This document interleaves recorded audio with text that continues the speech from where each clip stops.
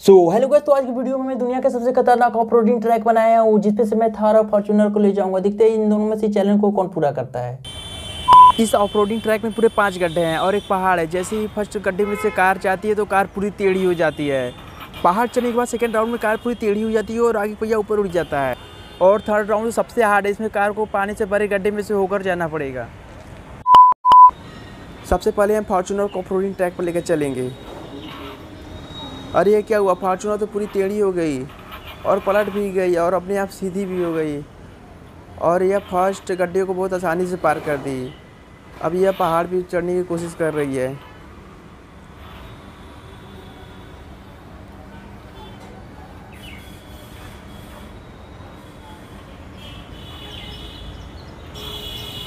और यह पहाड़ को भी बहुत आसानी से पार कर दी और यह सेकेंड गड्ढे में आ चुकी है।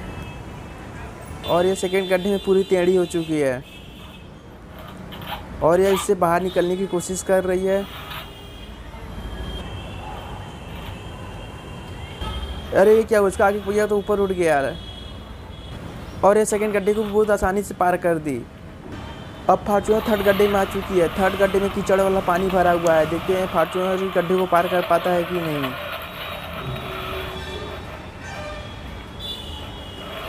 फार्चूनर के पीछे पहिया मिट्टी में पूरी तरह से धस चुका है और यह बाहर निकलने की कोशिश कर रहा है।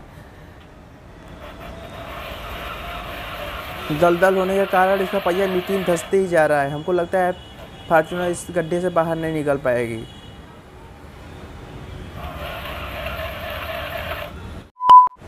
चलिए सेकेंड राउंड में थार को ऑपरेटिंग ट्रैक पर लेकर चलते हैं। ये क्या हुआ? थार तो पूरी टेढ़ी हो गई। टेढ़ी होने के बावजूद भी यह बाहर निकलने की कोशिश कर रही है। अरे यह क्या हुआ? ये तो फ़र्स्ट गड्ढे से आसानी से बाहर निकल गई। चलिए अब ये देखते हैं हमें पहाड़ पे जा रही है। देखते हैं पहाड़ को पार कर पाती है कि नहीं।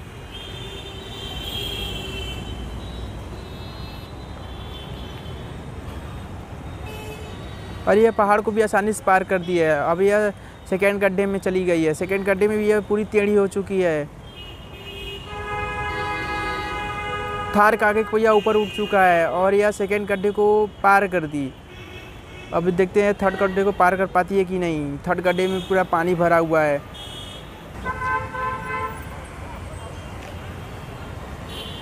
पानी की वजह से पूरी मिट्टी में दलदल हो चुकी है। तब भी अपनी पूरी कोशिश कर रही है बाहर निकलने की। ये थोड़ा थोड़ा बाहर निकल रहा है।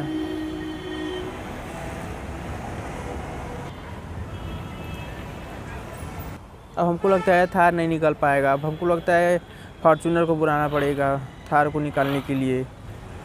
थार और फॉर्चूनर दोनों इसी गड्ढे में आकर फंस गए, लेकिन इस चैलेंज को सबसे कम समय में पूरा किया होगा, वही विनर होगा। आप लोग कमेंट में जल्दी बताइए कि इन दोनों में से कौन विनर है।